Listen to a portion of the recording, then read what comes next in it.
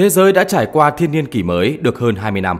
Qua thời gian đó, nước Mỹ đã có tới 5 đời tổng thống và trải qua biết bao biến động. Thế nhưng nước Nga thì vẫn chỉ có một hình ảnh duy nhất, lãnh đạo tối cao Vladimir Putin. Một người đàn ông có công sắp xếp lại nước Nga sau mớ hỗn độn hậu Liên Xô. Một người đưa Nga trở lại với vị thế cường quốc luôn là cái gai trong mắt của phương Tây. Ông là ai mà có thể làm được điều như vậy? Chúng ta hãy cùng tìm hiểu quá trình đi lên của một trong những nhân vật lịch sử gây tranh cãi, Tổng thống Nga Vladimir Putin. Vladimir Vladimirovich Putin sinh ra vào ngày 7 tháng 10 năm 1952 tại thành phố Leningrad, sau này đổi tên thành Saint Petersburg. Ông là con trai của một gia đình bình thường với cha là cựu binh từng tham gia Thế chiến thứ hai, còn mẹ của ông là một công nhân trong nhà máy. Gia cảnh của họ hết sức bình thường và Putin sống cùng cha mẹ ở trong một căn hộ chung cư cũ kỹ tại thành phố Leningrad. Ông nội của Putin từng làm đầu bếp và có quãng thời gian phục vụ cho các lãnh đạo tối cao của Xô Viết như là Vladimir Lenin hay Joseph Stalin. Thế nhưng điều đó không giúp ông có được địa vị cao nào trong xã hội. Trong lời tự sự sau này, Tổng thống Nga từng tiết lộ, tôi xuất thân từ một gia đình bình thường và đó cũng là cách mà tôi sống suốt một thời gian dài. Gần như suốt cả cuộc đời mình, tôi sống như một người bình thường và tôi luôn luôn duy trì cuộc sống như vậy. Trong hồi ức của cậu bé Putin, mẹ của ông là bà Maria Selovmova là một phụ nữ nhân ái và tốt bụng. Bà thường nấu cho ông Putin ăn những món mà ông gọi là đơn giản, truyền thống của người Nga, như là món súp borscht, thịt cốt lết Kiev, canh cải Salianka. Đôi khi bà còn làm cả bánh ngọt nữa. Putin rất thích món ăn và rất gắn bó với mẹ lúc còn nhỏ. Putin có hai người anh ruột ra đời trước ông hàng chục năm. Thế nhưng người anh cả chết vài tháng sau sinh, còn người anh hai thì qua đời trong giai đoạn phát xít Đức đang phong tỏa Leningrad.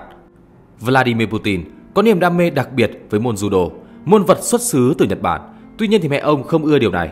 Mỗi lần đến lớp tập võ, bà Maria lại cằn nhằn rằng chuẩn bị đi đánh nhau. Tuy nhiên thì mọi thứ đã thay đổi sau khi mà huấn luyện viên judo của Putin tới nhà và thuyết phục bố mẹ của ông. Ông ta bảo cậu bé là một tài năng và cần được bồi dưỡng, phát triển. Vì thế mà bà Maria và chồng đành phải đồng ý cho cậu con trai theo đuổi ước mơ. Tuy là một võ sĩ cừ khôi, thế nhưng về mảng học hành thì Putin hoàn toàn gây thất vọng. Từ năm 1960 đến năm 1968, cậu bé đi học ở trường số 193 Leningrad và thường xuyên bị giáo viên phản nàn bởi hay đi học trễ. Chưa kể là Putin còn có thói quen ăn mặc luộm thuộm hay gây phiền toái trong lớp. Cho đến tận năm lớp 6, khi mà giáo viên chủ nhiệm đến nhà đề nghị bố mẹ của ông kèm cặp con mình nhiều hơn, lúc đó thì Putin mới chú ý đến việc học tập. Kể từ đó, Putin bắt đầu chú tâm vào học tập và chứng minh mình cũng không hề tồi. Mơ ước từ thời trung học của ông chính là trở thành một điệp viên. Ông say mê các bộ phim chiến tranh của điện ảnh Xô Viết, trong đó có hình tượng các điệp viên cống hiến thầm lặng, thế nhưng có vai trò vô cùng quan trọng. Sau đó, ông tốt nghiệp Ban Quốc tế Khoa luật của Đại học Quốc gia Petersburg vào năm 1975 và được tuyển dụng vào KGB, tức là cơ quan tình báo tối cao của Liên Xô. Lúc này thì niềm đam mê judo được xếp ở vị trí số 2, mặc dù ông vẫn luyện tập đều và đi thi đấu cấp quốc gia. Còn ưu tiên hàng đầu, đó chính là sự nghiệp chính trị. Putin trải qua các khóa đào tạo khá khắc nghiệt của KGB tại Leningrad. Tại đây thì ông được học cách nắm bắt tâm lý tội phạm, cách làm điệp viên và cả công tác phản gián. Thậm chí các nhân viên tại đây còn được đào tạo cách bắn súng để đề phòng trường hợp nguy cấp. Sau khi tốt nghiệp cơ sở KGB tại Leningrad, Putin tiếp tục đến thủ đô Moscow, học tại trường an ninh cao cấp Dzerzhinsky. Vào năm 1985, ông tốt nghiệp học viện Andropov thuộc KGB, chuyên phụ trách các vấn đề điệp viên ở nước ngoài của Liên Xô. Ông còn trau dồi thêm tiếng Đức và tiếng Anh có khả năng sử dụng không khác gì tiếng mẹ đẻ. Sau khi tốt nghiệp Đại học Quốc gia Leningrad, ông Putin được tuyển dụng và làm việc tại KGB. Công việc đầu tiên ông được giao phó là ở phòng thư ký và sau đó là đơn vị phản gián của văn phòng KGB Leningrad và vùng Leningrad. Sau khi trải qua khóa đào tạo tại Moscow, Putin được chuyển sang tình báo nước ngoài. Sự nghiệp điệp viên của Putin có bước ngoặt khi mà ông được chuyển sang làm việc tại thành phố Dresden, Cộng hòa Dân chủ Đức, tức Đông Đức. Sau thất bại của Hitler ở Thế chiến thứ hai, nước Đức bị chia làm đôi. Tây Đức dưới quyền quản lý của các nước phương Tây, còn Đông Đức thì chịu kiểm soát của Liên Xô. Nhờ khả năng giao tiếp thành thạo và tư duy nhanh nhạy mà Putin rất được lòng các lãnh đạo KGB ở Dresden. Ông được thăng cấp lên hàng trung tá và giữ vị trí trợ lý cấp cao của trưởng bộ phận. Vào năm 1989, ông được Cộng hòa Dân chủ Đức trao tặng huân chương để ghi nhận những đóng góp cho quân đội. Thời gian làm việc cho KGB cả trong và ngoài nước đã giúp hình thành nên tính cách của Tổng thống Nga sau này. Đó là suy nghĩ thận trọng, kín tiếng và tự chủ trong mọi hoạt động. Nó cũng rèn rũa cho ông ý chí vượt qua mọi gian khó. Trong kho dữ liệu của KGB, nó ghi chép lại Vladimir Putin khi năm 23 tuổi mới gia nhập tình báo được đánh giá là nhân viên siêng năng, chu đáo và có khả năng chịu được áp lực cao. Tài liệu cũng tiết lộ đồng chí Putin không ngừng nâng cao trình độ tư tưởng chính trị, anh ấy không ngừng cải thiện các kỹ năng chuyên môn của mình. Khi trở về quê hương thì vị thế của Putin đã khác. Vào năm 1990, ông làm trợ lý cho hiệu trưởng Đại học Quốc gia Leningrad, phụ trách các vấn đề quan hệ quốc tế. Sau đó ông trở thành cố vấn cho Chủ tịch Hội đồng thành phố Leningrad. Thế nhưng đây cũng là giai đoạn rối ren nhất trong lịch sử của nước Nga hiện đại. Cuối năm 1991, Liên Xô tan rã sau hàng loạt các vấn đề từ kinh tế đến chính trị. Các quốc gia Xô Viết ở Đông Âu lần lượt tách ra và tuyên bố độc lập.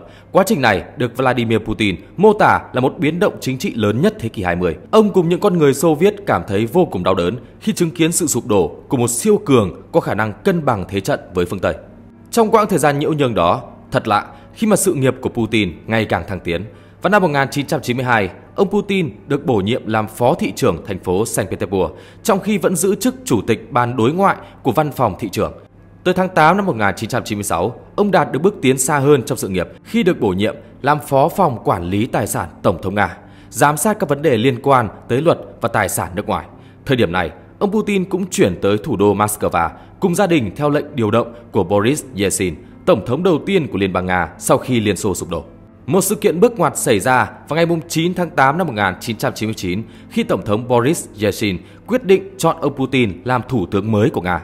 Vào ngày 31 tháng 12 năm 1999, Tổng thống Yeltsin tuyên bố từ chức. Ông đặt toàn bộ sứ mệnh Tổng thống vào tay Thủ tướng Putin. Nga sau đó tổ chức bầu cử sớm với 11 ứng viên tham gia và ông Putin đã giành chiến thắng.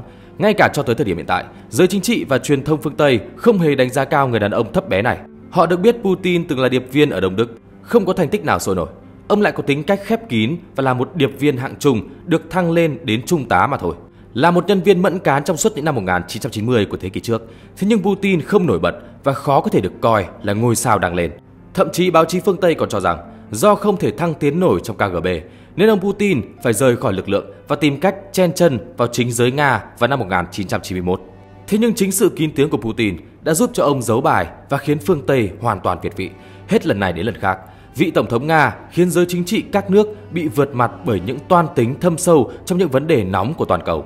Từ một mớ hỗn độn và khủng hoảng mà Boris Yeltsin để lại, Putin đã dần ổn định lại tình hình chính trị xã hội và đưa nước Nga trở lại vị thế như xưa. Vào năm 2004, ông Putin tiếp tục đắc cử tổng thống nhiệm kỳ thứ hai với tỷ lệ ủng hộ áp đảo. Do thời hạn của nhiệm kỳ tổng thống Nga bị giới hạn, ông Putin đã không thể tranh cử tổng thống nhiệm kỳ thứ ba. Từ ngày 8 tháng 5 năm 2008 đến ngày 7 tháng 5 năm 2012, ông giữ chức thủ tướng Nga trong nhiệm kỳ của tổng thống Dmitry Medvedev, người cùng đảng chính trị của mình. Sau đó vào cuộc bầu cử vào năm 2012, một lần nữa mang lại chiến thắng cho ông Putin và ông tiếp tục lại lãnh đạo nước Nga trong nhiệm kỳ 6 năm trước khi cuộc bầu cử mới của Nga diễn ra vào hôm 18 tháng 3. Theo kết quả kiểm phiếu sơ bộ, ông Putin nhiều khả năng đã giành chiến thắng chung cuộc và đắc cử tổng thống nhiệm kỳ thứ tư. Nhiều lãnh đạo tối cao của các nước đã trôi qua, thế nhưng nước Nga thì Putin vẫn ngồi đó sừng sững không đi đâu cả. Thế nhưng Vladimir Putin là một trong những nhân vật chính trị cũng đã gây ra tranh cãi khá nhiều. Nhiều tổ chức nhân quyền của phương Tây chỉ trích ông duy trì chế độ độc tài của nước Nga. Thực chất thì Nga đã trở thành quốc gia đa đảng từ sau khi Liên Xô sụp đổ. Thế nhưng Đảng nước Nga thống nhất của Tổng thống Putin và Thủ tướng Medvedev vẫn luôn nắm quyền thống trị trong mọi cuộc bầu cử. Điều đó giúp cho cựu điệp viên KGB này đã nắm nhiệm kỳ đến lần thứ tư. Mỗi nhiệm kỳ kéo dài tận 6 năm. Nhiệm kỳ gần nhất đến năm 2024 khi mà ông Putin sẽ được 72 tuổi. Tuy nhiên sau đó không biết ông còn nắm vị trí lãnh đạo nước Nga hay không. Putin cũng bị chỉ trích rất nhiều khi tiến hành các cuộc chiến tranh với các nước láng giềng. Với ông thì đó là hành động bảo vệ chủ quyền của nước Nga từ xa, thứ mà ông dành cả cuộc đời theo đuổi. Đúng sai, hãy để hậu thế phán xét. Trong vài năm trở lại đây, chính trị thế giới có những biến động rất lớn và nước Nga cũng chịu ảnh hưởng sâu sắc từ việc đó. Góc nhìn của một nhà lãnh đạo của một cường quốc khiến cho Putin phải luôn cân bằng thế lực giữa Nga và phương Tây. Đã từng leo lái quốc gia rộng lớn nhất thế giới, sở hữu vũ khí hạt nhân qua nhiều năm, có lẽ đây vẫn là giai đoạn khủng hoảng đau đầu nhất với Putin. Một người đàn ông gây tranh cãi, một nhà lãnh đạo được người Nga yêu mến. Đó là cuộc đời của cựu điệp viên KGB, sinh ra trong một gia đình bình thường và đã bước qua con đường để trở nên vĩ đại, ít nhất là trong lịch sử của nước Nga. Cảm ơn các bạn đã theo dõi video. Còn bây giờ, xin chào và hẹn gặp lại.